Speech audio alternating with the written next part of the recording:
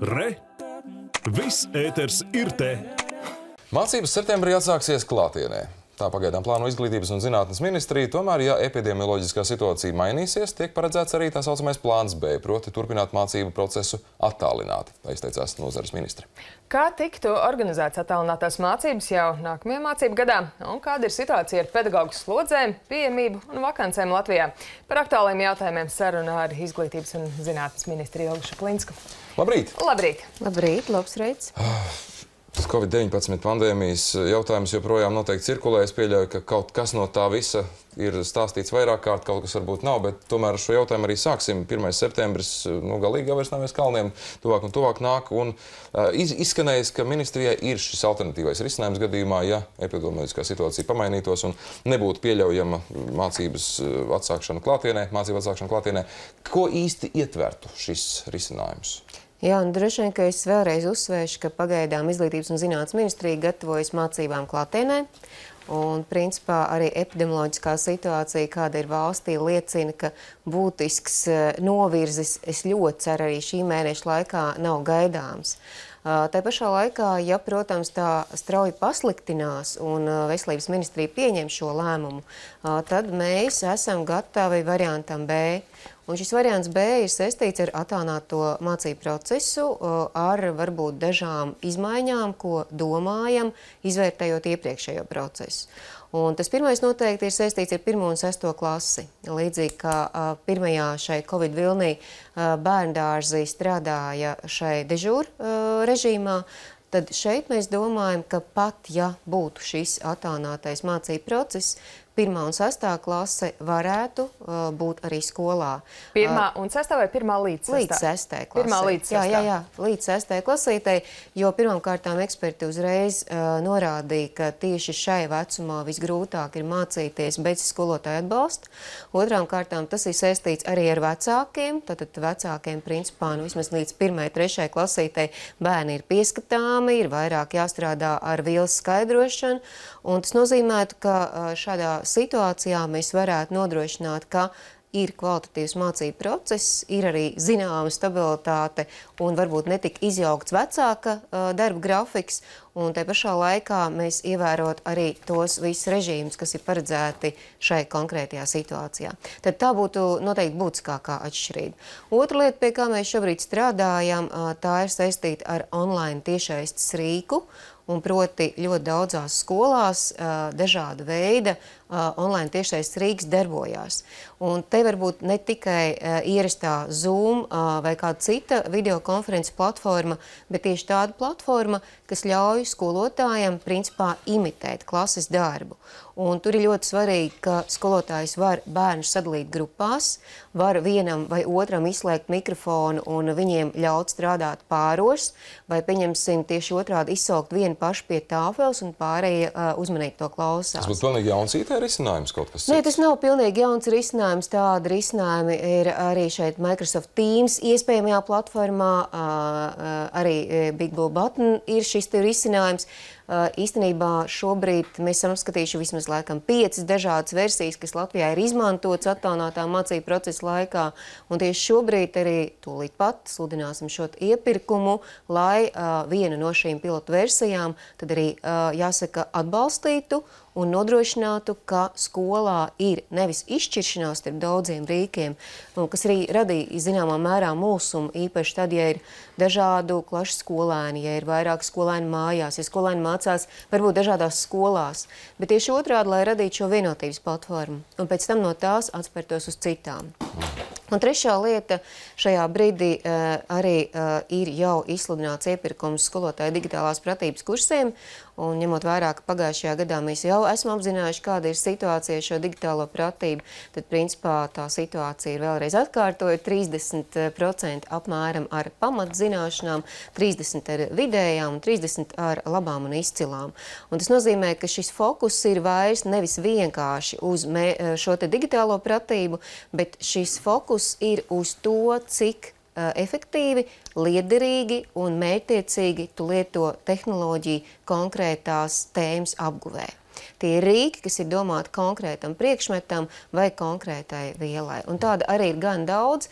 Cits jautājums, ka šobrīd pietrūkst vienotas platformas, kurā skolotājiem vienreiz, uh, jāsaka, ieejot ar savu uh, paroli, tu varētu to lietot arī pie šī. Mēs šobrīd strādājam, bet neredzam iespēju, ka iepirkuma procedūras, kādas ir Latvijā, to ļaut izdarīt, piemēram, līdz 1. septembrim. Mhm. Par uh, dažām detaļām vēl uh, papildu arī pajautāsim, vai šobrīd ir definēts um, saslimušo skaits uh, uz 100 tūkstošu iedzīvotājiem, pie kura skolas tomēr netiktu atvērtas? Šādā veidā mēs neesam runājuši ar veselības ministriju, ka tieši saslimušo skaits, pie kuras skolas netiek atvērtas, jā, tad uh, droši vien, ka līdzīgi kā iepriekšējā situācijā Latvijā arī saslimušo skaits nebija tik augsts, bet vispārējā pandēmija pasaulē uh, lūk, lika šādu lēmumu pieņemt. Uh, man tā šķiet, ka šeit izējas punkts varētu būt, un es ļoti ceru, ka nu, mēs nebūsim tā valsts, kurā patiešām ies plašumā šī saslimušo skaita statistika. Šeit ir stāsts par to, ka līdz līdzīgi kā iepriekš, ja mēs redzam, ka, piemēram, bērndārzā ir šis saslimušais, tā ir šī vietējā lokācija, ja, bet tas noteikti nav saistīts uzreiz ar to, ka visa sistēma ir izslēgta no aprits. Ja. Līdzīgi tas varētu būt gan pirmskolas iestādēs, gan, kā es jau minēju, pirmajā, sastajā klasītē. Jā, no tā arī izriet šis mans nākamais jautājums. Kāds būtu rīcības tas algoritms, ja klasē viens skolēns tiek konstatēts, ka viņš ir covid pozitīvs? Nu, šajā brīdī... Nu, tas... klasē visa skola tiek uz laiku slēgta? Atkarīgs no skolas izmēriem. Droši vien, ka, ja jūs uh, mācāties šobrīd Jaunjēlgavā, kur skola ir celta vairāk kā uz tūkstošu bērniem, bet šobrīd skolā ir 100 plus ar astīti, tad droši vien vienas klases saslimušais ļauj šādā lielā ēkā uh, organizēt arī pārējās mācības. Bet, ja jūs mācāties kādā no Rīgas ģimnāzijām, nu, tad tas droši vien draud ar to, ka visa skola uz kādu brīdi ir attālinātajā mācību procesā. Jūs minējāt arī, ka vērtīgāko pieredzi no jau iepriekšējās nākamās sezonas, tātad no pavasara attālinātajām mācībām būtu noteikti jāņem arī nākamajā jāizmanto. Kā ir ar to norādi, ko šķiet eh, Jūglis, arī vidusskolas direktora, Latvijas radio diskusijā ar jums arī minēja, ka palika daudz nepasniegtā mācību satura un iespējams nāksies atgriezties vēl pie vecās vielas. Tā kā tas kamols tā kā tiek viļāts uz priekšu, atpakaļ, uz priekšu, atpakaļ un varētu būt grūti tā perspektīvā iet uz priekšu stabili. Jā, bet es tik, tikko arī minēju tieši šis online rīks, tad analizējot attālinātā mācību procesa datus, mēs principā redzam, ka kopumā to ir novērtējuši 80-85% kā labu vai pat ļoti labu. Un uh, viena no pamat problēmām ir saistīta tieši ar to, ka online, jeb tieštaisas nodarbības ir bijuši tikai 25-30%, kas nozīmē, ka tās skolas, Vācu sākuma skola, Rīgas klasiskā ģimnāzija, vairākas jūrmālas skolas, Uh, vēl droši vien, ka daudz skolas, ja, viņas ir izmantojuši šo tiešsaistes nodarbību. Un ko tas nozīmē? Tas nozīmē, ka, piemēram, Rīgas klasiskā ģimnāzija saglabāja uh, gandrīz ierasto skolas darba ritmu. Jā, viņu stundu grafiks bija organizēts nedaudz savādāk, bet principā šī saziņa visu laiku bija kā ierastajā skolas ritmā. Nu, savukārt par skolotāju pašu slodzi un par skolotāju ritmu izskanēs, ka tas slodzes pieaugums un ir bijis krietni. Es ieteiktu tieši parunāt ar Rīgas klasiskās ģimnāzijas skolotājiem un pārliecināt, pārliecināties, vai tajā brīdī, ja tā ir tiešais nodarbība, tas ir arī dubults sloks, vai tomēr nē. Un jo dubults sloks, tieši tā, dubults sloks veidojas kurā brīdī, ja skolotājs pamatā strādā ar patstāvīgā darba uzdošanu, un pēc tam viņam ir jāsniedz atgriezniskā saita, ko rāda arī šī aptauja. Aptauja rāda, ka lielākā daļa atgriezniskajai saitai izmantojuši ir ēpastus, bet te pašā laikā ir vairāki rīki, kas ļauj ne tikai, jāsaka, labot šos automatizētos testus, kas, piemēram, ir uzdevumi LV, Soma LV, ko praktiski ļoti daudz arī izmanto, bet ir arī tādi rīki, kas ļauj daļai eseisku vai šo interaktīvo izpildīto mājas darbu arī daļai automatizēti Un tas noteikti labot. arī ir jautājums par prasmēm izmantot izmantot uh, digitālos rīkus. Un pats svarīgākais tas ir prasme organizēt šo darbu, jo attālinātais mācību process nevar būt analogs absolūti klātienei. Skolotājiem ir jāizšķirs, kas ir svarīgākais, kur ir jāliek akcenti ar vielas skaidrojumu Un nevar būt tā, ka šai divu mēnešu rakursā tev nav tiešais nodarbība, kurā tu neskaidro vielu. Tad ir jāatgriežas pie vielas skaidrošanas. Bet nu, darba slodzes pārskatīšanas, eh, veidošanas sistēma nebūtu jāpārskata. Eh, šajā, šajā brīdī mēs neredzam šo vajadzību pārskatīt tieši darba slodzi, eh, tādēļ, ka principā, ja ir tiešais nodarbība, tā ir tā pati stunda. Cits jautājums, ka ir drusku jāpārdomā šo te materiālu izvēli. Tā pašā laikā, ja tā ir šī patstāvīgā darba slodze, tad tomēr uh, kontaktstundas vairs netiek vadītas. Uh, ja mēs runājam par darba slodzes pārskatīšanu, darba veidu precīzāk pārskatīšanu, tad tā vairāk ir plānota uh, līdz 21. gada uh, maijam kurā starpinstitucionāla darba grupa izvērtēs šo te, jāsaka, finansējumu modeli Un tas ir saistīts ar vairākiem parametriem, kāpēc mēs to šobrīd nevarējām izdarīt līdz galam. Mm. Par uh, pedagoģu atalgojumu runājot, uh, pretenzijas no augstskolu pedagogiem par to, ka viņi palikuši tā teikt apdalīto lomā, atšķirībā no skolu pedagogiem, kam ir paredzēts uh, atalgojuma paaugstinājuma grafiks. Jā, tur ir arī neviennozīmīga situācija. Pagājušajā nedēļā mums ar Finanšu ministriju bija budžeta izvērtēšanas seminārs, kurā cits starpā viena no šīm pārskatu tabulām bija saistīta ar akadēmisko personālu un viņa atalgojumu. Īstenībā Latvijā ir tikai divas augstskolas - Banka augstskola un Latvijas lauksaimniecības universitāte, kurā akadēmiskā personāla darba atalgojums nav pieaudzis bet visās pārējās tas procentuālais sastāvs, kādā veidā pieaug šis konkrētais atalgojums, ir gan iespaidīgs. Cits jautājums, ka tas varbūt nav samērīgs ar to administratīvā darba atalgojumu, ko mēs redzam un kas uh, publiskajā telpā nepārtraukt izskan, un ka tas nav pietiekams uh, atbilstoši viena docētāja slodzei.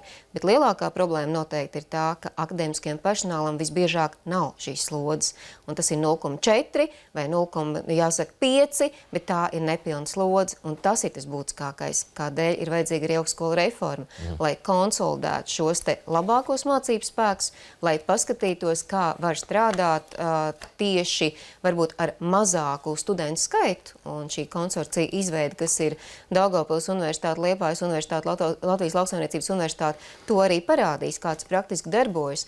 Ja tev, piemēram, Liepājā un Daugavpilī ir līdzīgas programmas, bet nav pietiekams studentu skaits, tad tas veido, protams, ne visu, bet labāko docētāju arī labāku darba atalgojumu. Jā, jautājumi mums vēl daudz un dažādi, bet viens ļoti svarīgs jautājums, kas nu, ļoti lielu viļņošanos sabiedrībā raisīja, un tas bija jautājums par to, ka Izglītības zinātnes ministrija plāno rosināt noteikti, ka vecākiem savam skolēnam bērnam ir jānodrošina ierīce ar interneta pieslēgumu, kas, protams, raisīja daudz dažādas atsauksmes, arī kritiku jums veltītu, ministrijai veltītu. Pēc tam gan arī izskanēja, ka tiek domāts par atbalstu. Nu, kā tad īsti ir? Katram jānopērk savam bērnam tas dators ar internetu vai Kāda būs? Izmērot, ja tas ir jautājums, tas ir jautājums par diskusiju sabiedrībā. Un īstenībā Izglītības un zinātnes ministrija analizēja Durio datus, vienkārši uzsāka diskusijas sabiedrībā.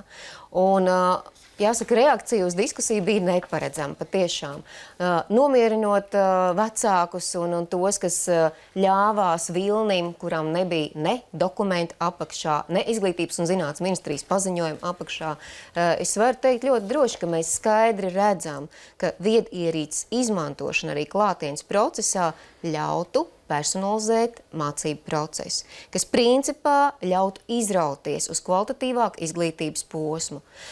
Ja sabiedrība tam nav gatava, ja mūsu tehnoloģiskā vide tam nav gatava, tad mēs pakāpeniski meklēsim iespējas, kā uzlabot šo tehnoloģisko bāzi. Nu, tehnoloģiski šobrīd... droši vien, ka varbūt būtu gatava no gribēšanas viedokļa, bet varbūt finansiāli nav gatava. Šobrīd ir tikai, ne, ļoti dažādi. Ja? Mēs arī mums ir statistika, atkal varam teikt, ka 55% no mācību procesā iesaistītiem saka, Viņiem ir absolūti viss, kas ir nepieciešams, lai strādātu arī attālināti. 30% saka, mums ir viss, bet mēs ļoti gribētu kaut ko jaunāku.